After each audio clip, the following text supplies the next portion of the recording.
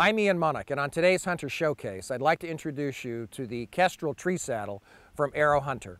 The advantage of a tree saddle over conventional uh, tree stands, climbers, or lock-ons is the fact that you can utilize the tree as a blocker between you and, and the white-tailed deer, slowly but surely moving around the tree at an angle which uh, gives you the advantage over that buck or doe.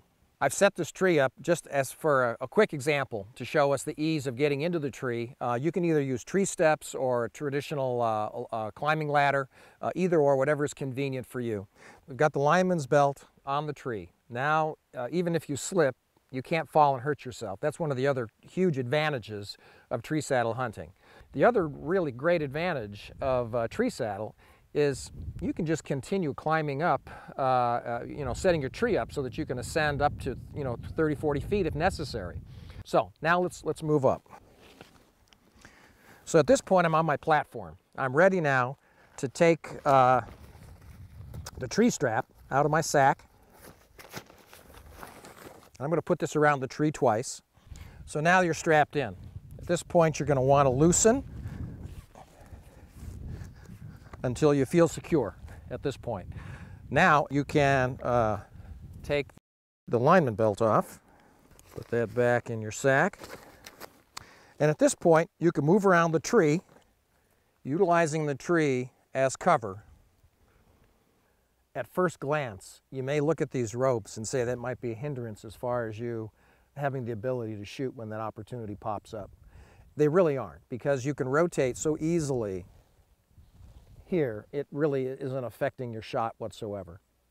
Okay, I, I, start to see a deer moving out there in the woods. He can't see me, but I'm going to slowly move around to the right position where I'm going to uh, pull back to full draw. And now notice I'm at full draw and my arms, the bow, there's no um, rope even close to where I'm going to shoot. I can take my time, move around, as soon as that buck comes into range, a kill shot. That's one of the real advantages of the tree saddle, is the fact that you can move around the tree 360 degrees as the opportunity uh, uh, provides itself and take the right shot at the right time.